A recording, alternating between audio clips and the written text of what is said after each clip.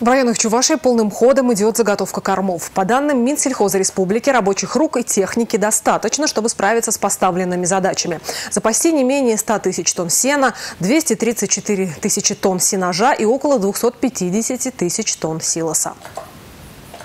По состоянию на сегодняшнее утро во всех хозяйствах Чувашии скошено около 180 тысяч гектаров многолетних трав или 87% всех площадей. В некоторых районах первый укос уже завершен. В среднем же по республике показатели заметно выше, чем в прошлом году. Сергей Артамонов посоветовал руководителям хозяйств активнее сдавать корма на качественный анализ. Эта процедура, хоть и не является обязательной, позволяет зоотехникам прогнозировать прибавку веса, надои и другие параметры. Сейчас хозяйство готовится к уборке зерновых.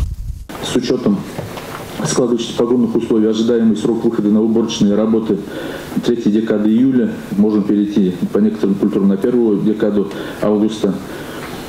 Обычно в Яльческом районе выходили 13 июля каждый год после Петрова на следующий день, после Петрова дня. В этом году небольшое отставание, конечно, у нас ну, не 14 ожидается. Имеющие в настоящее время мощности зерносушильного оборудования позволяют обеспечить сушку всего объема поступившего при уборке зерна. Мощности хранения зерновых культур также позволяют обеспечить хранение производственного в республике зерна в полном объеме.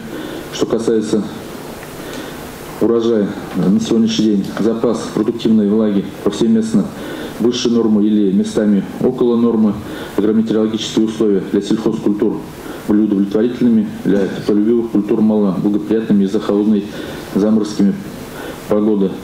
Цены на зерно в этом году ожидаются более высокие, чем в прошлом. Благоприятные прогнозы и для производителей молока. Стоимость сырья перестала падать, а с учетом предпринимаемых мер ожидается ее рост. Обсудили виды на урожай овощей и картофеля. Глава республики напомнил о том, что покупателей должно удовлетворять соотношение цены и качества продукции.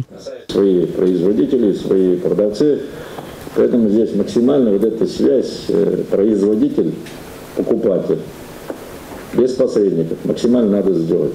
Елена Гальперина, Александр Петров, Республика.